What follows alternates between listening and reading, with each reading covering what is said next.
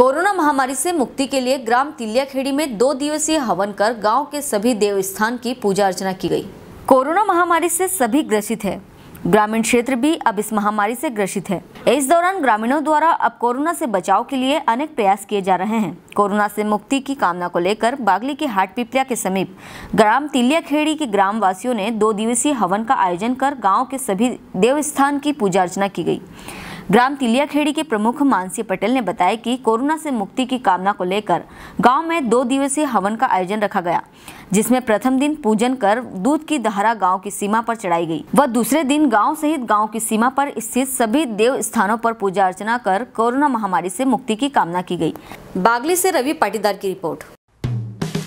Hello friends आप देख रहे हैं हमारा channel S W twenty four news हमारे सारे वीडियो सबसे पहले देखने के लिए आप हमारे चैनल को सब्सक्राइब करें और पास में लगे बेल आइकन को दबाना बिल्कुल भी ना भूलें।